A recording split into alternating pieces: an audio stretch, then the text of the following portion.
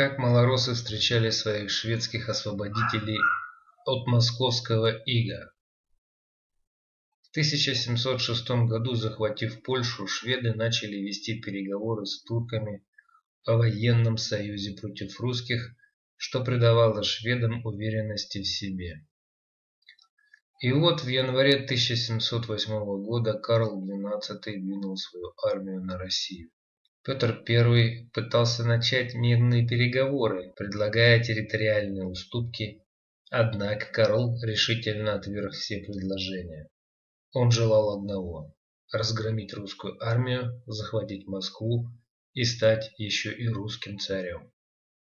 Когда шведы вошли в Малороссию, они пытались представить себя как освободителей, но население встретило их саботажем и партизанской войной. А по лесам, собрася, компаниями ходят, и шведов зело много бьют, и в лесах дороги зарубают. Так доносил Меньшикову офицер Бартенев. Карл считал, что война должна сама себя кормить и одобрял отъем всего полезного у населения с применением жестоких мер устрашения к тем, кто не желал расставаться со своим добром. Так происходило по всей Малоруссии. Несмотря на листовки, заверявшие местное население в том, что шведы несут европейский порядок и свободу, взамен московскому игу малорусы бежали от желто-синих и по возможности уничтожали их. На саботаж и сопротивление шведы отвечали массовыми казнями.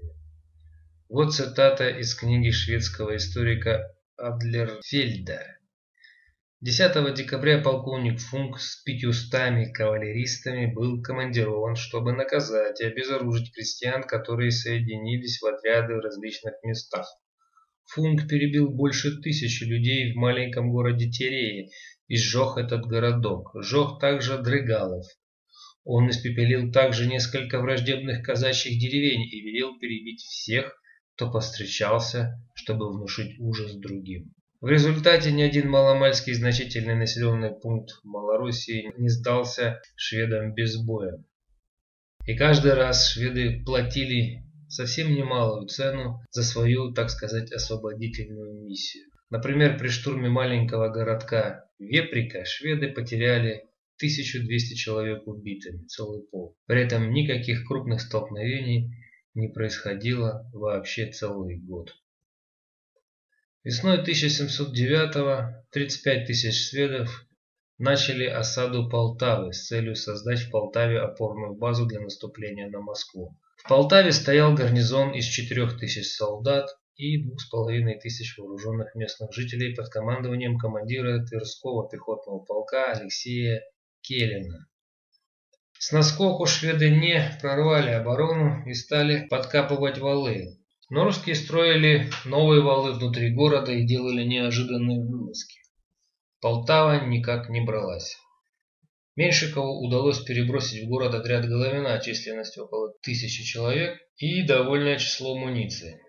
Шведское командование предложило Келлину сдать крепость, обещая почетные условия капитуляции, а в противном случае угрожая истребить всех, включая мирных жителей. В ответ 2 и 3 июня защитники Полтавы сделали две сильные вылазки, во время которых было захвачено четыре шведских пушки. Тем временем русские войска стягивались к городу, и шведы рисковали оказаться в окружении. В начале лета к Полтаве прибыл сам русский царь, начавший готовить генеральное сражение. Карл решил во что бы то ни стало взять Полтаву, прежде чем дать решающий бой Петру Первому.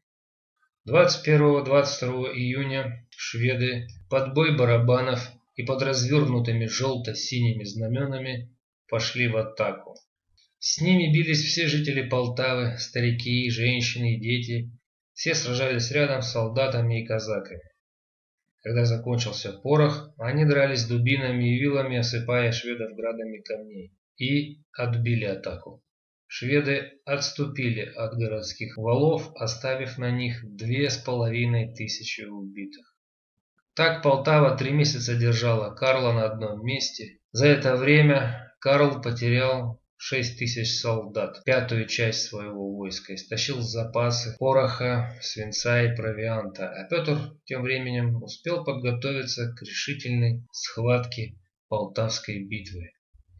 Вот так малоросы встречали своих освободителей. Надо отметить, что часть низовых запорожцев под командой Константина Гордиенко, который был против Москвы, тоже воевала на стороне Карла. Под Полтавой шведы использовали их как снайперов для охраны пленных и на рытье траншей с подкопами, выдавая за день работы по 10 копеек на человека. За эту измену Запорожская сечь была захвачена русскими, 156 гвардейцев казнены. По пути к сечи русские уничтожили городок Переволочно, убив там около тысячи сторонников Карла. В этом походе участвовали как малороссийские казаки, так и петровские войска. Как же поступили шведы с казаками, служившими им? После Полтавской битвы они, не задумываясь, выдали всех этих изменников, находившихся среди шведов Петру Первому. И судьба их была так же печальна, как судьба гордеевцев. Таким образом, подавляющее большинство населения Малороссии было против шведов.